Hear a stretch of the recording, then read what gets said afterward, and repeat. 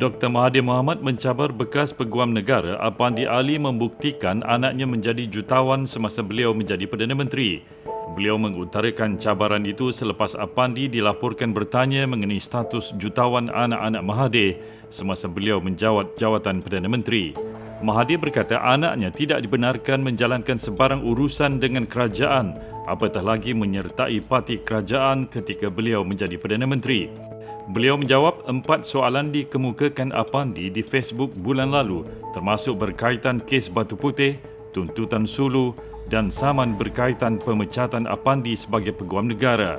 Mahathir menjelaskan bahawa Apandi dipecat kerana Jabatan Kehakiman Amerika Syarikat dan seterusnya Mahkamah Tempatan mendapati bekas Perdana Menteri Najib Razak bersalah atas salah laku namun Apandi memutuskan bahawa Najib tidak membuat apa-apa kesalahan. Berhubung tuntutan Sulu, Mahathir berkata Najib patut dipersalahkan kerana bertindak tanpa mengikut proses apabila menghentikan bayaran kepada waris Sulu tanpa persetujuan jemaah menteri maupun peguam negara ketika itu.